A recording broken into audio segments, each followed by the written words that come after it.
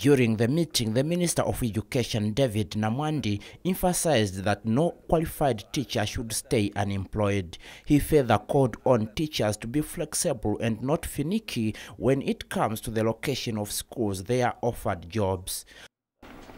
Not teachers who are sitting at home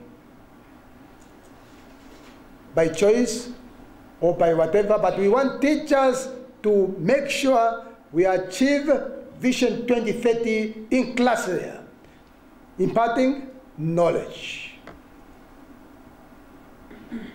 Teachers are like uh, soldiers. You don't uh, say, I want to go and work in my village.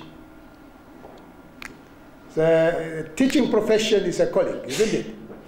It's a calling, it's a love of our children. And also, I want to tell you, I know we are not perfect.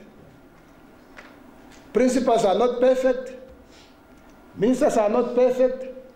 Permanent secretaries are not perfect. Nobody's perfect. You are not perfect, perfect as well. But uh, please let the innocent children not suffer because of our misunderstanding.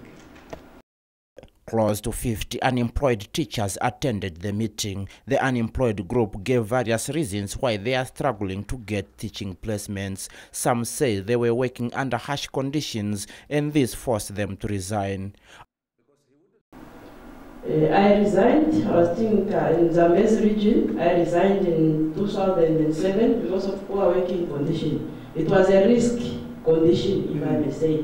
Because I was teaching at one of the remote areas where we have to go in a canoe.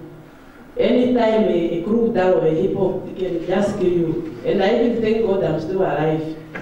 I am qualified, well, hardworking.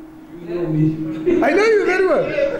But the way you disappeared, what happened? No, no, no, no. I did not. I just disappeared up to Agostino.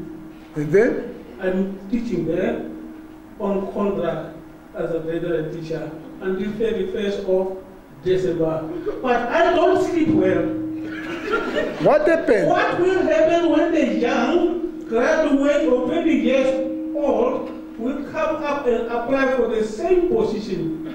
Are they not going to kick me out of this old man? And the reason why I couldn't get a job, as well as my other colleagues, is because of our subject selection. We did biology and physical education. Physical education is not a promotional subject. So most of the vacancies that come out, they don't require one to teach physical education. After the meeting, the teachers registered their names and contact details, and according to the Permanent Secretary of Education, Alfred Ilukena, the ministry will assist them in finding jobs. Aaron Mshaukwa for the news on One.